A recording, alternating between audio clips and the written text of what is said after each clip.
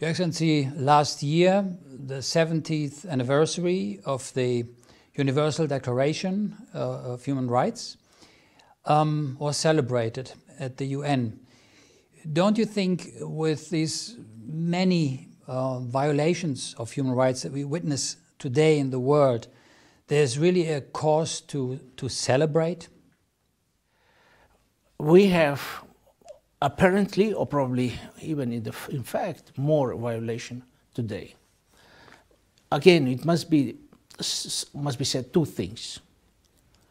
We know today that we have violations. In the past, we had violations, but we didn't know. So the impression is oh, the same way dramatic. So how it can be that so many institutions and so many efforts and so big money and so many forces are used and still it's simply not enough. It is somehow a transcendental question. So it means talking about human rights is a question almost of a spiritual or I say uh, superior level. No? Somehow administration and goodwill of organization or the states and institutions is not enough. Something else must be done. And this is probably the challenge that we accept. And also, as a Holy See and the Catholic Church are ready to continue uh, search for better results and open to any dialogue with anybody that may be useful for the implement of all the commitments that human hand, human mankind, mankind made in this field.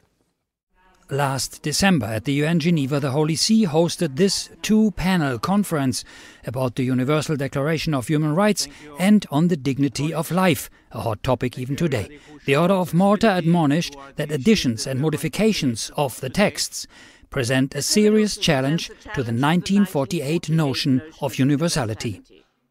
For instance, in the recently adopted General Comment, number 26, paragraph 9, on the right to life of the Human Rights Committee on Civil and Political Rights, the proposed uh, new language or terminology or reinterpretation gives us food for thought, in particular with regard to the words, and I quote, facilitate the termination of life, unquote, and quote, wish to die with dignity, unquote.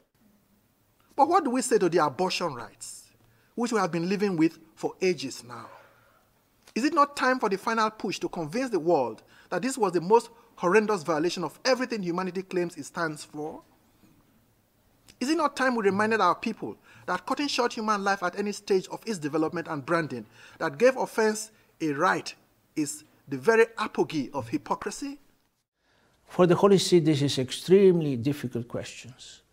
We do not accept, and we repeat this, uh, how to say, many times, that uh, the sanctity of human life is superior to any deliberation of any human institution.